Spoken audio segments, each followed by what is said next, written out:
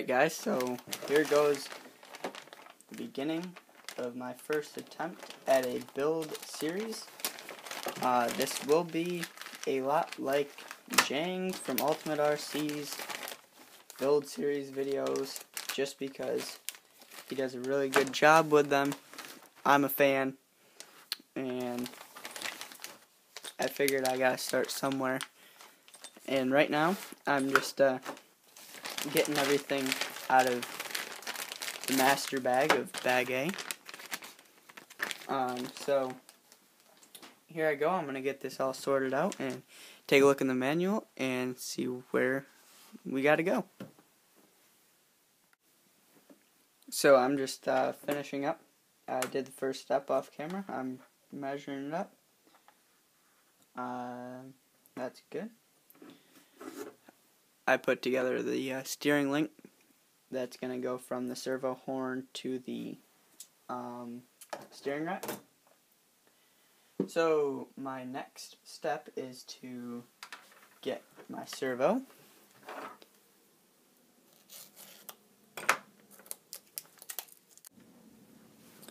Here we go, uh, finishing up the steering mounting, or the servo mount. Um, I'm just doing some of this, like off camera. Just, I think that's like dark, like you guys can't see the servo and stuff, because of where I have the light. Um, I'll try to uh, move the light around, but for this first set of videos, I'm gonna do like the whole front end probably tonight, and then see what I got left and then do like the back end tomorrow and the transmission. But okay, so there's the steering assembly. Now the next thing we're gonna do is get this beautiful chassis aluminum. And before we do that, I'm just gonna go ahead before we do anything and I'm going to lay these on here.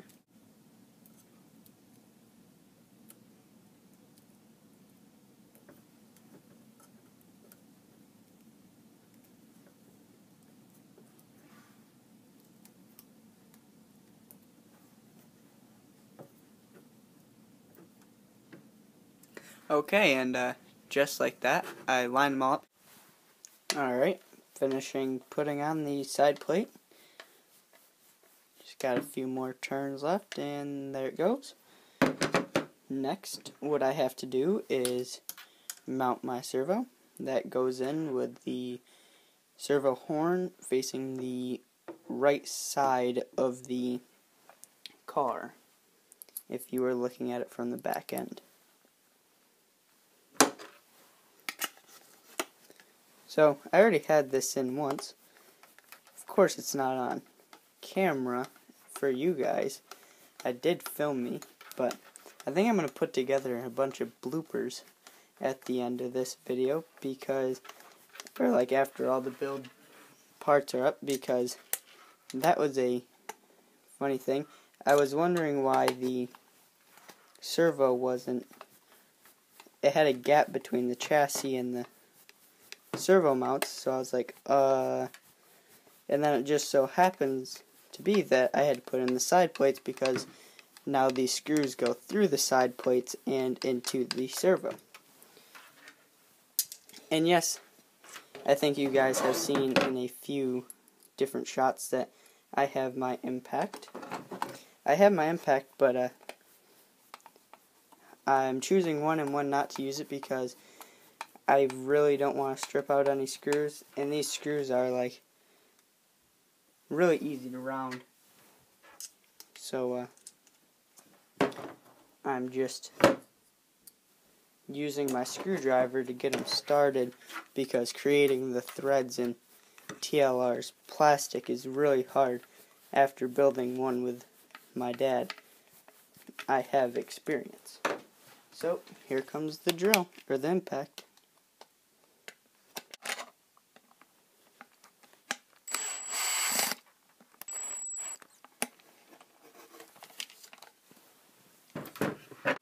Here's just a little quick note for you guys when uh, if you guys are ever building this kit.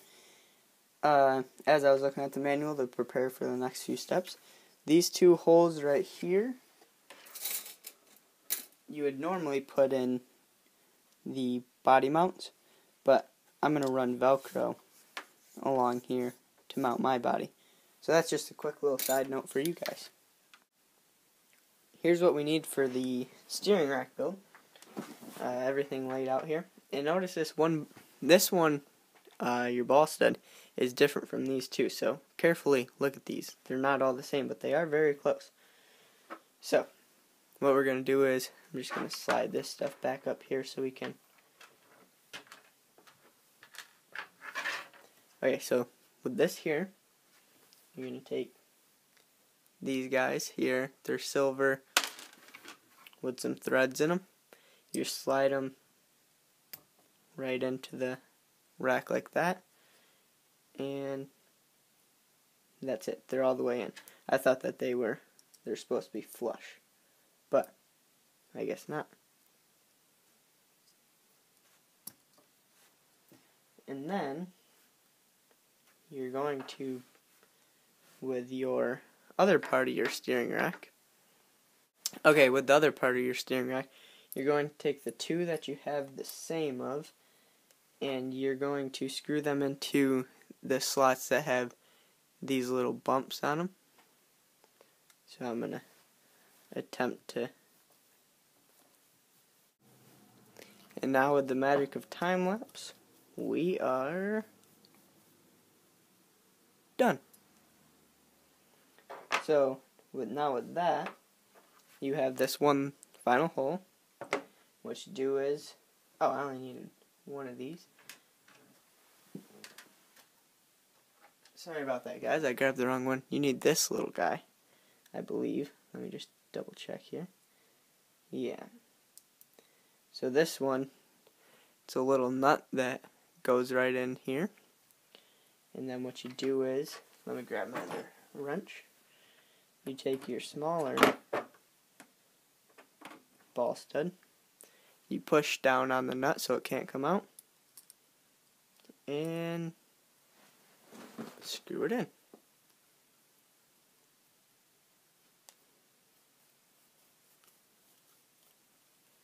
And there it is. Now you have all your hardware together. Okay, so here's everything we're going to need for step A7. Your steering rack put together, your uh, front shock, where the shock tower is going to go on, not sure what you would call this, and then this little screw here is for your body mount, which is right there. So, I'm not running body mounts. Like I said, I'm going to use Velcro. So I'm, I don't need that. But that's what you would need with that little guy. So I'm just going to set them aside. So now you have your two screws here. And how this is going to work is you're going to take this here. You're going to run your screws. If I can get my screw and my screwdriver go through the hole. And is there any specific way I need to mount this? Yes, there is. If that's like that, that's exactly how the manual shows.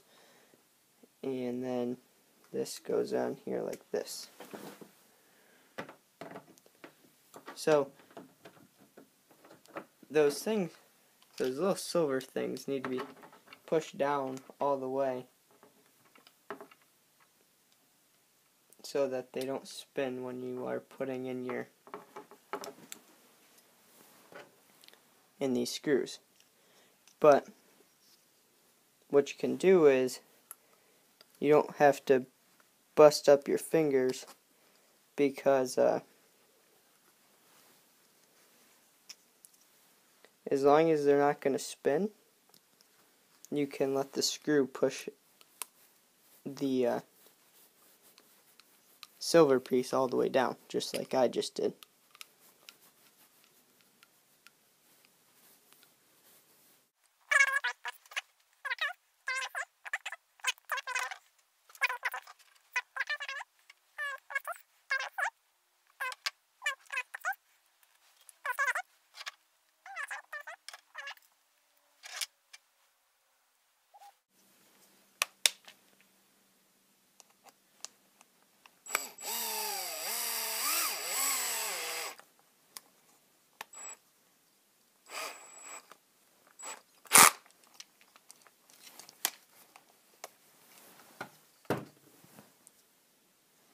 Now on to the next step of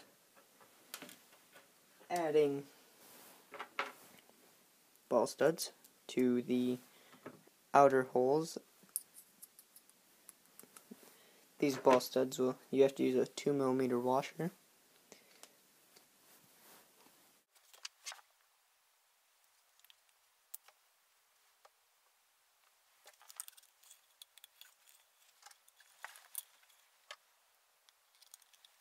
I am putting on the front bulkhead to the car itself.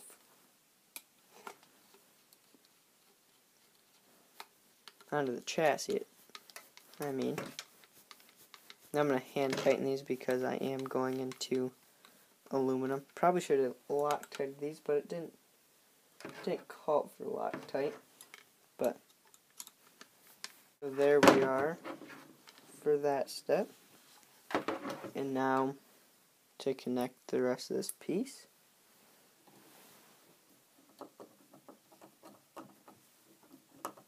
We have to run these screws through the top here down into the servo mounts. So speed up this process, going to use a drill. I do have my impact set at a very low torque so that I don't over tighten these screws or strip them out.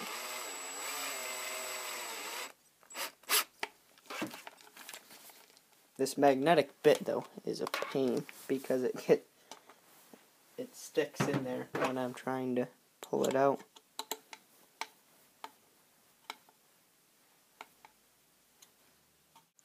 So this part of the build uh, is where I'm only going to be showing one side. So here I'm putting the ball stud in the steering spindle. And then next what I do is we are going to add our bearings. That one went in there nice. Add the bearings. That one went in there good as well. And then here's your hex. It's kind of cool how this works. You slide the long end through your bearings, just like that. And then on this side, we use this really little screw to capture the hex. And what's nice, what Losi does is, oh, I have to cut a hole in this. They um, include some Losi lock which is thread lock with the Losi name on it. Just add a little bit. And then put it on your little screw. Hold the hex. And screw it in. So after I realized that I experienced some camera malfunctions and didn't record building the spindles and I just talked to myself. Um, I'm finishing this up here by putting in the ball stud. And then I'm going to show you adding it to the A-arm. Okay, so here's your spindle. Here's the A-arm. And here's the car. So what I gotta do here is flip it around the right way and get the same screws as you use with the spindles with not full thread on them but half thread slide it in the back side and I'm putting the space you get to choose where you want that little spacer and I put it back here for a longer wheelbase. And then you just gotta slide line it all up. Thread in your screw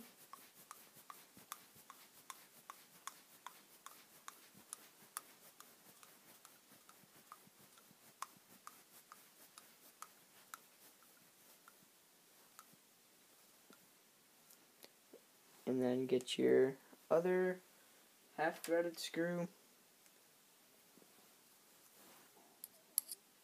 Push push that in.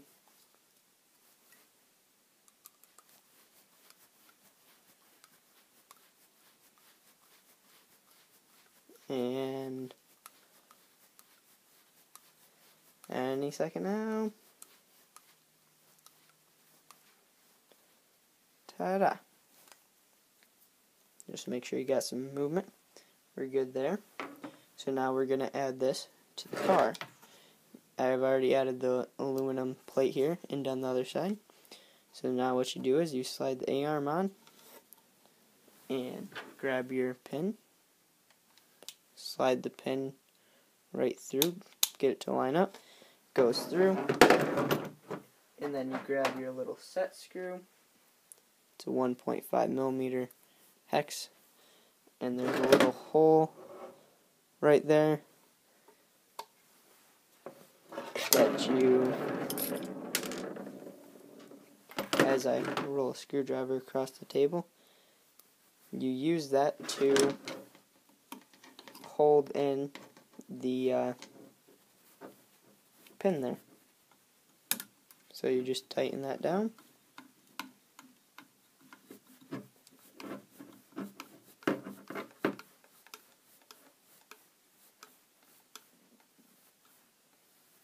like that. And we're almost done with the front end.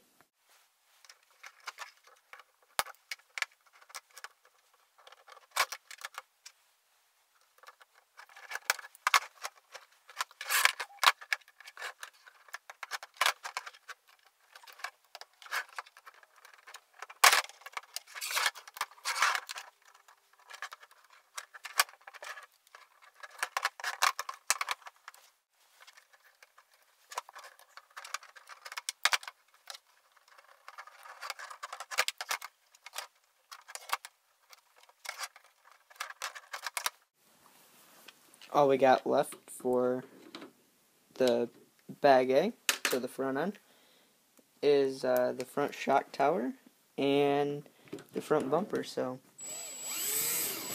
might as well get her done.